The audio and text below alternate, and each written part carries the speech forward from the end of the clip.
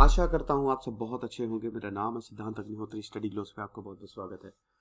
भाई, हम बात करेंगे रशिया और यूक्रेन की। रशिया यूक्रेन कॉन्फ्लिक्ट मुझे लगता है कि रशिया बहुत जल्द यूक्रेन पे अटैक कर देगा। मैंने रशिया यूक्रेन के बारे में अभी एक लेक्चर बनाया था। तो रशिया के फॉरेन मिनिस्टर हैं, ठीक है? सरगी लेवरोव उन्होंने चेतावनी दे दी है कि भाई, यूरोप में भीषण युद्ध हो सकता है। Nightmare of military confrontation तो तैयार रहो। सीधा चेतावनी। यूरोपियन अरे यार बार बार ये पीछे ही चला जाता है। आज मैं बहुत बड़ा अनाउंसमेंट करने वाला हूँ, बहुत बड़ा। रात तक या फिर कल तक हो जाएगा। पीपीटी सर, इतनी घटिया बनाओगे कि अब डेटा भी नहीं रहेगा? हाँ सही पहचाना पीपीटी मैं बना दूँगा यार, अभी थोड़ा सा बिज़ी हूँ, बहुत ज़्यादा बिज़ी हूँ। मैं अपनी पीपीटीज खुद ही बनाता हूँ तो इसीलिए कुछ चीज़ों में बिज़ी हूँ, मैं आज अनाउंस करूँगा क्या है। तो यूरोपियन सिक्योरिटी कॉन्फ्रेंस हो रही है स्वीडन में। ठीक है? स्वीडन में हो रही है। तो वहाँ पे लैवरोव ने बोला कि भाई, नया यूरोपियन सिक्योरिटी पैक्ट करो। ठीक है? एक ऐसा सिक्योरिटी पैक्ट करो, जिससे नेटो जो है, वो ईस्ट में ना एक्सपैंड कर पाए। ये लैवरोव का सुझाव था। नेटो अमेरिका बैक्ड ऑर्गेनाइजेशन है। आपको पता है, नॉर्थ अटलांटिक ट्रीटी ऑर्गेनाइजेशन। तो अमेरिका के सेक्रेटरी ऑफ़ स्टेट ने क्या बोला? एंटोनी ब्लिंकन ने यह बोला है कि देखो, अगर रशिया और यूक्रेन आपस में भिड़ेंगे तो बेटा सीरियस कंसीक्वेंसेस के लिए तैयार रहना। वार्निंग दी है ये धमका दिया है अमेरिका ने रशिया को कि अगर तुमने यूक्रेन पे हमला किया तो इसके सीरियस कंसीक्वेंसेस होंगे। रशिया आपको पता ही है कि मिलिट्री जो कि यूक्रेन का बॉर्डर है उस पर तगड़ी मिलिट्री तैनात कर रहा है। यूक्रेन का यह कहना है वैसे भी रशिया ने यूक्रेन से क्रीमिया तो 2014 में छीन नहीं लिया। यू, यूक्रेन का कहना है कि रशिया ने नब्बे हज़ार से ज़्यादा लोगों को तैनात कर दिया है। ट्रूप्स हैं ये। कभी भी अटैक हो सकते हैं। मॉस्को ने ये डिनाई किया है। पागल है क्या? मैं हम थोड़ी ना अटैक अटैक करने वाले हैं।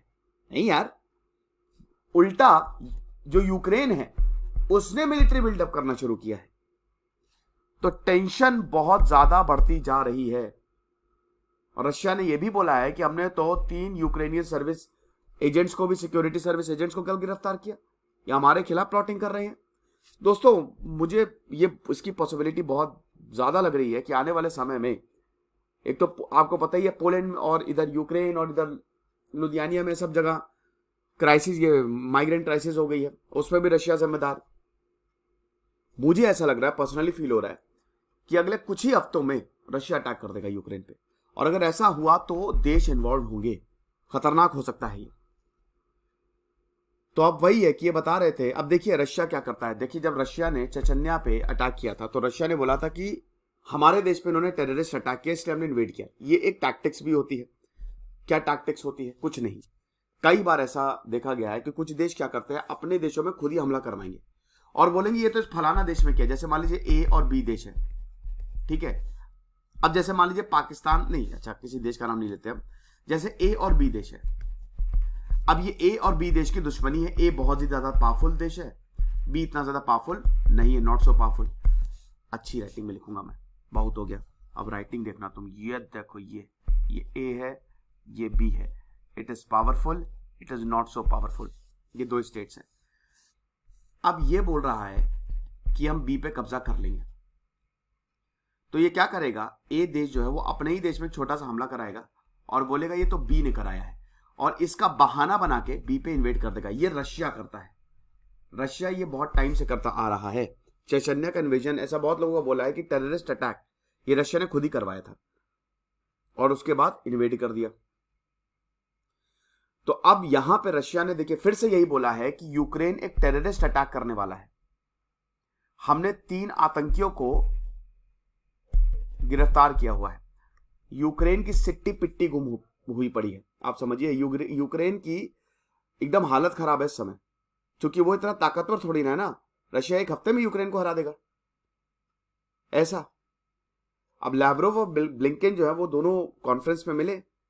वही ओ organization for security and cooperation in Europe American officials ने बोला है कि देखिए, यूक्रेन पे हम और बातचीत करेंगे। हम और रशिया अच्छी खासी बातचीत करेंगे। साथ ही साथ अमेरिका के प्रेसिडेंट जो बाइडन और व्लादिमीर पुतिन की भी मुलाकात हो सकती है आगे आने वाले समय में। तो ये बहुत अच्छी बात है भाई।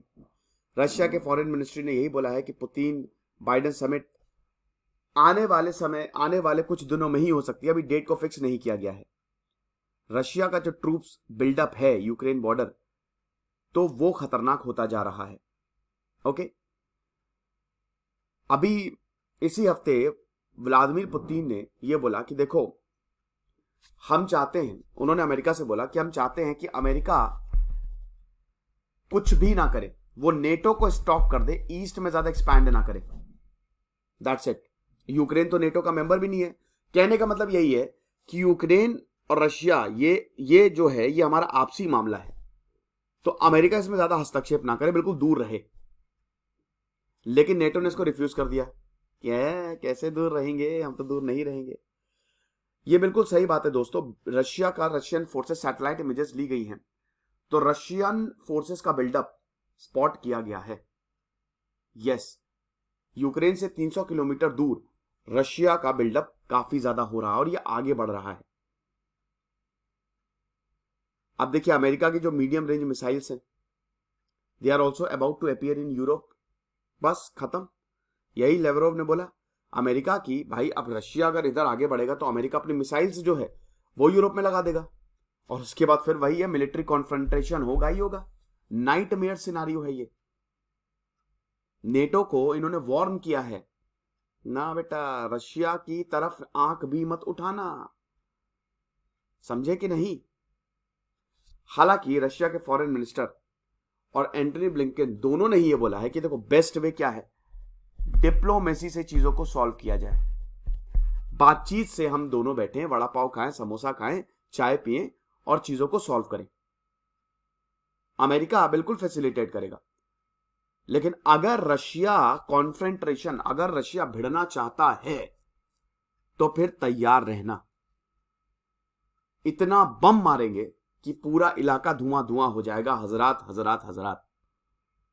ये ब्लिंकन ने बोल दिया है। कि हम नहीं चाहते क्राइसिस हो। कोई दिक्कत नहीं है। रशिया अच्छे से रहे हमारे साथ। लेकिन अगर तुमने कुछ भी गड़बड़ किया, अगर तुमने यूक्रेन पे अटैक किया और अगर तुम क्राइसिस अगर तुम कॉन्फ्रेंटेशन करना चाहते हो तो बेटा दौड़ा के मारेंगे तुमको हम। ऐसा। इन बिटवीन द लाइंस बता रहा हूँ। जो डिप्लोमेटिक डिप्लोमेसी की लैंग्वेज होती है, वो काफ़ी ज़्यादा सभ्य होती है। ऐसा। ऐसा कितना बोलोगे सर? ऐसा ऐसा। वेंसडे को यूक्रेन के प्रेसिडेंट व्लादिमीर जेलेंस्की ने यही बोला था कि भाई हम डायरेक्ट टॉक्स जो है रशिया से करना चाहते हैं। सात साल के बाद ऐसा होगा, क्योंकि अभी तक रशिया और यूक्रेन की डायरेक्ट टॉक जब से क्रीमिया पे कब्जा किया रशिया ने, तब से हुई नहीं है। और इन्होंने ये भी बोला कि देखिए, हमारा गोल यही है कि क्रीमिया को लिबरेट किया जाए, जो कि रशिया ने एनेक्स किया था 2014 में। तो वही चीज़ है। देखते हैं फ़िलहाल आगे क्या होता है, लेकिन सिनारियो बहुत खतरनाक होते जा रहे हैं। कंडीशन बहुत खतरनाक होते जा रहे हैं। Extra twenty five percent off है दोस्तों हमारे कोर्सेज पे। आप इनको ज़रूर अवेल करिएगा। और, इन नंबर्स पे कॉल करिए व्हाट्सएप करिए। Thank you so much